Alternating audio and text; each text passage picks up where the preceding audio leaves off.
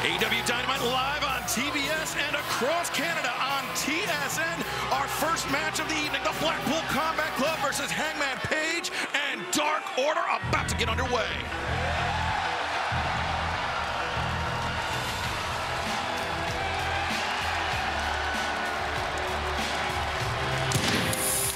From Aaron Street, Virginia, weighing 229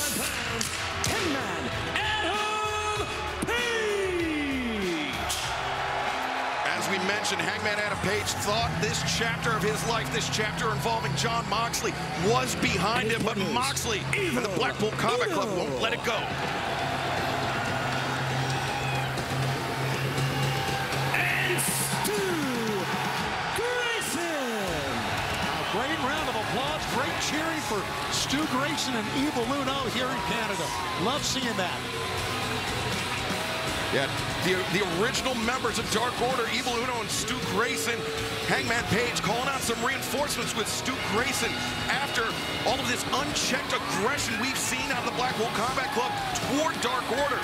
Evil Uno tried to level things up with the Blackpool Combat Club. Their numbers just too much, Taz. They did, and you saw he sold after the knee right there, but then Hangman came out to level the playing field, and that man, Hangman, he caught a beat down from these men in the Blackpool Combat Club.